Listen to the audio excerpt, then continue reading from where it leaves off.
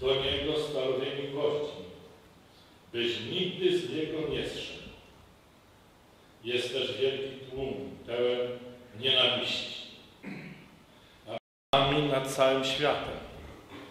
Dopomóż, abyśmy byli godni Twego Królestwa, abyśmy nie byli niewolnikami grzechu i nie zginęli na wieki. Kłaniamy Ci się, Panie Jezu Chryste, i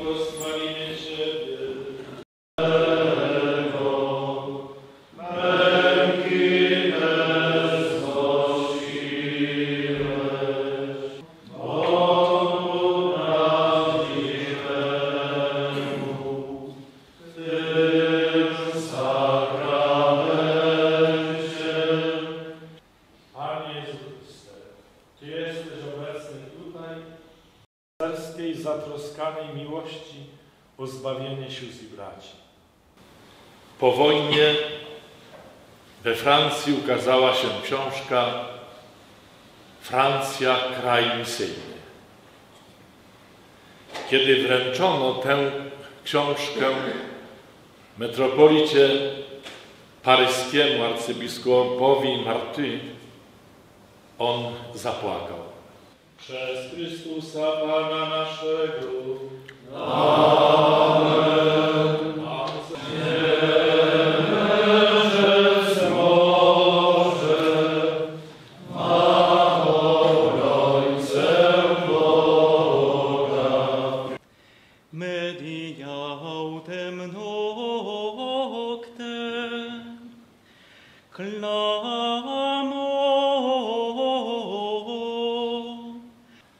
często, szczególnie gdy to odchodzą dobrodzieje, to prawie, że są to panegiryki beatyfikacyjne.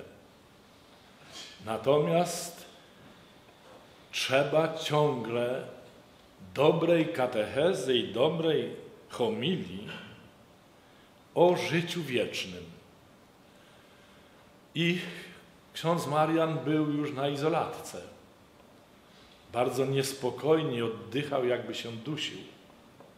Zaczęliśmy odmawiać razem koronkę, a jego oddech zaczął stawać się coraz łagodniejszy.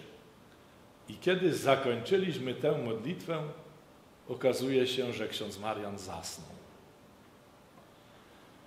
Śmierć, która była przygotowana w jakimś rozumieniu uporządkowania życia, spotkania z Panem Bogiem. Diagnoza była oczywista, że nie ma możliwości poratowania, żeby życie doczesne przedłużyć. Uświęć te dary mocą Twojego Ducha, aby stały się dla nas ciałem